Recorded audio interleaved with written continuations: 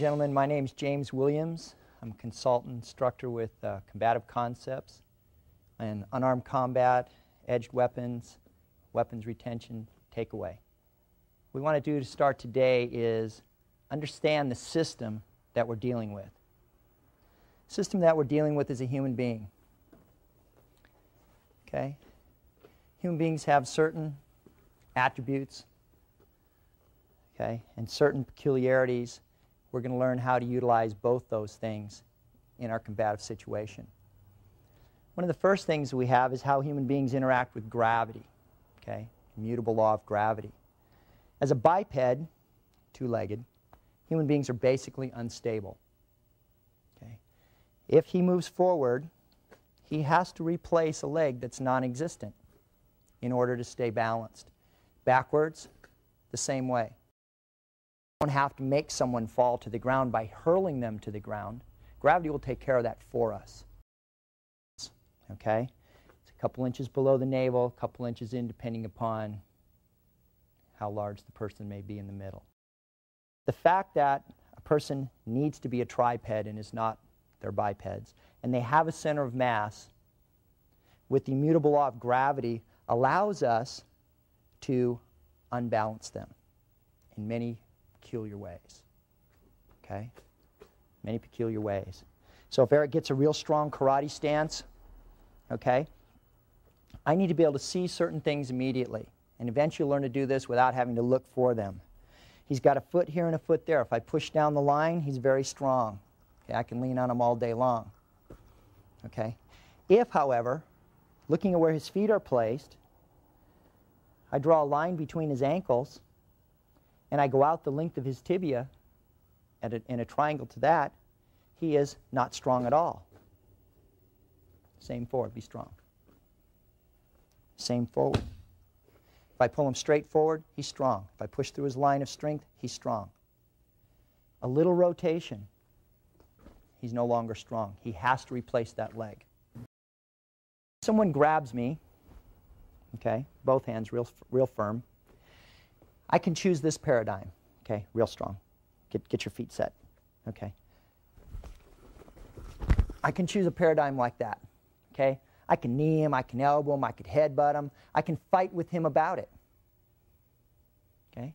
Now, that takes a little bit of time, and depending upon the other person, their resolve, their physical genetics, how much experience they've had at this, how successful I'm going to be. We've all seen people that could probably just pick us up like that and throw us back on the ground. An elbow in the, uh, elbow in the temple is just going to get them, get them lit up. So we don't choose. We don't choose to look at it like that. We don't choose to feel that we can always dominate people by force and by leverage, by mental attitude. That an all out offense is going to be the best way to do things. So we might take a paradigm like this He grabs me and he's real firm. And my feelings are, I'm not going to fight about this. I'm not going to be a castle and have to defend a point in space. It could be any point in space. Why don't I change the point in space? So from my elbow to my wrist, because there's two bones here called the ulna and the radius, he's got control. From the wrist down, he doesn't control that. And everything else from the elbow up, he also doesn't control. So why don't, instead of fighting this, why don't I change my physical relationship with him? We call this skeletal relationship. So I'm going to change my physical relationship. I'm going to leave this hand like it's just a point in space. I'm going to come and step through. At this point of coming, stepping through, notice how his body is being gathered. We'll call this gathering because now I have control of his center of mass, his center of gravity we call this gathering. And in a very unsophisticated way, you could step through and trip. But for us, I'm merely going to bring a hip back. Okay? When you throw someone, depending upon the situation you're in and what you're try- attempting to accomplish, and to some degree, whether you're armed or not, you'll throw them either close or far away. In an empty handed situation where I don't want him to be able to get up and, and repeat an attack, more wiser than he was the last time, I want to throw him close so that I can deal with it. I want to finish the show right here. So what, what I did here is as he came over, I threw him close.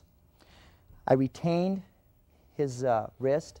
I placed my knee against the humerus bone just above the elbow. This makes the arm then no longer bendable. It's like a rod. If I place my weight straight down, it fixes it. Okay? It fixes it. As I bend the knee in, it starts to hyperextend the joint. The whole philosophy is don't fight for that position in space. The person has a hold of you, let him have that piece. Work everything else. If he's punching or kicking or, or a knife thrust at you, redirect, move your body, but don't fight for that position in space. Okay. Combination of something might be, say he's punching, I redirect, I gather the body here, got the elbow locked, see how his body now is mine? Okay? I can throw it. Okay. In a training situation, you throw, you allow the person to roll. In a combative situation, they don't get to roll. Okay? It's designed to place them in a position where they are severely injured by the time they get to the ground. Both by the application of the technique, dislocate the elbow, and by the throw, where they land on their head or their shoulder. We're going to allow him to have whatever he grabs, whatever it is that he grabs. Okay? He might be grabbing up my collar and my arm. Okay? And it seems like this is real difficult. Okay? I'm under tension. He's grabbing my collar and my arm. Well, if I allow him to have those pieces that he's grabbing, in fact, at this point, it's real simple for me. Okay? I can drop him backwards because he needs a leg there that he can't place.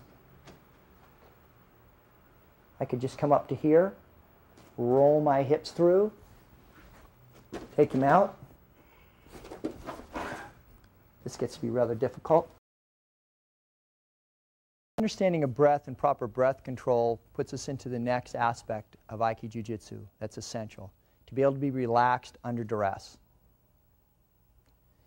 The reasons why, if he grabs me and I choose to make myself rigid and strong and conflicting, and he moves my arm around, he's moving me around. He now has control of my center of mass.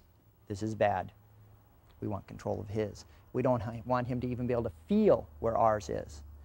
So in the relaxed paradigm, if he grabs and he begins to move me like this, he still has no control of my center of gravity whatsoever. And in the process here has actually placed himself in jeopardy that he may not even be able to feel initially. That's where the throws, that's where the joint locks come from. You're soft not because you're kind-hearted or you don't want to injure somebody. You're soft because they can't tell where you're coming from. They can't feel it. They will give you okay, the means to throw them. They will give you the opening, the body part, the throw. They'll give that to you. Last thing that we really want to set up for ourselves to keep this relatively simple, this is a very complex art that takes a long period of time, is how we use our eyes. We do not focus down. We do not focus our vision. You kind of get the picture? What can you see? A little point I'm going to be striking and nothing else. My whole body's focused for one little one little movement here that may or may not have value to the whole situation. My brain is in a conscious mode. Conscious mind is not real smart. Seven variables plus or minus two. Sit down for a few seconds and think in a room entry how many variables? A little more than nine, I think. 90, 900. The only way you can handle that properly is subconscious mind. The way to access the subconscious mind is to relax your eyes. If I'm opposite another person, and that's the, the system I'm going to be dealing with, I'll direct them at the middle of the chest. But I don't look at the middle of the chest. That's where they're directed. And in the process here of looking or directing my eyes and relaxing them, I can see everybody way over here.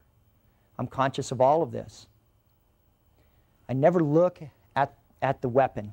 The Japanese had a saying, you see the sword that kills you. If you want to be successful in a defense, defend a place that's not being attacked. Okay, so we use that. We believe that. So if he's attacking this space and I'm doing stuff like this, see the position, yeah, the first one's out of the way, but where am I going to be from everything else? Okay, he's got punch to the stomach, he's got all kinds of stuff. I'm defending a place that's being attacked. So what I want to do is, if I'm not going to absolutely change the place that's being attacked, I will change where his attack's being applied so that I'm no longer the focus of the attack. Does that make sense? So that's where we're coming from. Works really well with guns because you don't want to be in that impact zone trying to defend against it. You want to be somewhere else. If he's presenting a hand or a fist or whatever, rather than trying to knock it away, which as I hit hard and he hits hard, the impact also reaches my center. Well, that's not good. I don't want to be off balance at all. And I always want him to be off balance. So if he's going to come in on that way, I'm going to what we call cam or redirect combination of the two. As he's coming up the leg of the triangle, I am reaching down the leg of the triangle, paralleling his motion. As I do that, if I reach towards his chin, it cams him away. Now, cam versus push. What takes place if I push, I'm applying pressure in a linear fashion here. He can be relatively strong because he can push directly back against it. A cam applies pressure in a continuing arc that's hard, hard to push back against. There's no real peace. You guys all look like you all lift weights. If you're down there doing bench press, doesn't feel too bad. How about if there's a little guy at the end taking that bar, moving around just a little bit, okay? Becomes real difficult, right? The muscles, where do I push? How can I do this? There's a lot of weight here. So this, this confuses him. He never feels that this is taking place, but you're controlling his center by doing this. I'm never going to be in a position of, when he punches, never going to be in this position. I'll be in a position of, okay, now see where that places me. Okay, as long as I stay nice and tight to him, I can throw him on the ground from here. Okay, I can get a compliant arm lock or something from this position. At this point, of course, you can see a throw to a break okay, because his elbow is jeopardized here. And as he comes through, okay, now we back that off a little bit because that's real bad on an elbow. But the reality on that would be that there's a broken elbow there and a throw at the same time.